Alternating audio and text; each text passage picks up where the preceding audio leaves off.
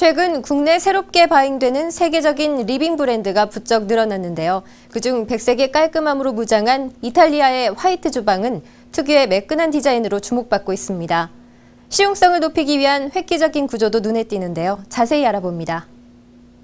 세계적인 유명 리빙 브랜드가 서울로 대거 몰려오고 있습니다. 이탈리아의 한 명품 주방 브랜드 제품은 화이트 주방에 대한 로망을 담고 있어 더욱 눈길을 끄는데요.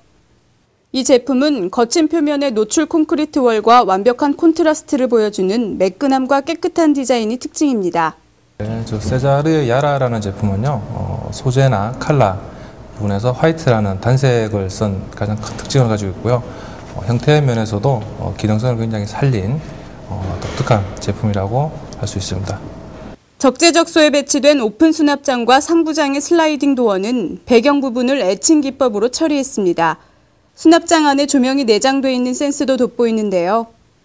거실 쪽 도어는 자유로운 타이포그래피가 들어간 실크 스크린 glass를 적용해 자칫 단조로울 수 있는 화이트에 생동감을 더했습니다.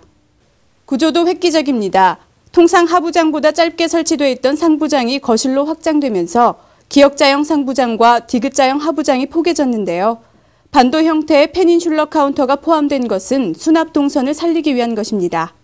화이트 peninsula 그 아일랜드 디자인의 가장 큰 특징은요 작업대 높이와 어, 식탁의 높이를 구분해서 이제 기능성으로 편리하게 사용할 수 있게끔 디자인이 되었고요 어, 도어 부분에 있어서는 그 매입형 손잡이를 적용하여서 순백의 화이트 컬러를 그대로 노출시켜서 강조한 제품이라고 말씀드릴 수 있습니다. 화이트 주방의 무한 상상. 봄을 맞아 그 깔끔함과 신선함으로 주부들의 눈길을 사로잡고 있습니다. KIB 인테리어 뉴스 이진입니다.